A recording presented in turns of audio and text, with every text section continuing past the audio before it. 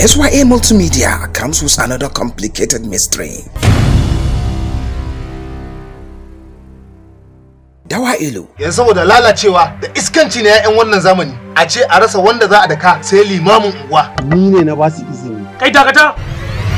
Yaron duk da muku iskanci ku daka. Dan ka taka doka wallahi doka za ta taka ka. Waye kai? Ni ne nan dawa ilu ba irin iskancin da ban yi ba. Ba ruwana da wani magana wani dawa ilu To in mara kunya ne kai mu je waje. Duk wanda ya ma kan kara ka mai na ice dan bana so a daina jin tsoron ka a garin nan ya so da abu ta halli ma Dawa Ilu. sannunku munafukai Ba fa kawarki bace ni, uwa ce fa. sai me Ƙari aka yi kiba munafukan ba ne. da Allah ta shi ki bani guri sai asuwa Na rantse da Allah biki isa ba. to ba zai yi ba to ni ina ba ku haƙuri a madadin Na gaya ni. ye gaskiya ne Sai dai kawai Allah ya shirya. Ai cutar ka aka yin aka ce ka hakura. matsiya ce kawai karfa. Daga magana?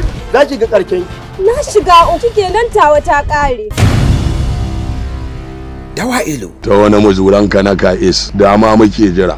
Laye ko a siya kai da kamus yanzu iskancin na kuma ya bar kan yan iska irin ku yan tasha yan kwalta ya koma cikin gari. Ka kiyaye ka tsaya daidai yanda Allah ya barka. I will make sure wannan shine first and the last iskancin da zai a garin nan. Ni zan yi maganin wallahi ko ni ko ku. Ko kazar garin nan ya gani ba zai sake hararar ka wallahi ƙarya ne wallahi wallahi ƙarya ne. Dakata ni ko furtsuna na fi ƙarfin wulaƙanci.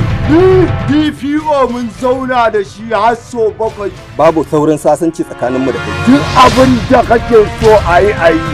wallahi yau sai na kar ka to wallahi zaman lafiya ya kare a garin nan Dawa Ilu. Iko ina zan kai mai gari dawa ilu To ai mai gari dan iska ne ni na san halin sa. Yan ayu ne masu zame wando ƙasa. Me raki da irin wayannan? Ki kwantar da hankalinki kaman kin kashe dan mai gari. Za ki iya cafki ni zan iya cafki ki. Na kashe dawa ila a cikin awa ɗaya. Kada ku ji da wai. Ko mu aura mu ci uwarsa. Ni fa dawa ilin nan wallahi din na kosa mutum ne. ka ci san abu a wuka a jikina da ka ci uwar ka wannan Allah ina uwan mai ƙarya. An gama yanzu za mu ci mutum. A kan ki kuma ko zan iya bi gidaje gidaje duk in bubbunka musu wuta duka. na gode na shi yasa nake son ka wallahi duk garin nan Dawa Ilu. Screenplay Hamza Gamba Umar, Assistant Directors, Ridwan A. Taroni, Musa Dan Azum Baba, and Jibrin Ali Kujaji, Co-Producer, Ismail Muhammad Engineer. Produced by Jamil Barmu Dan Undalo.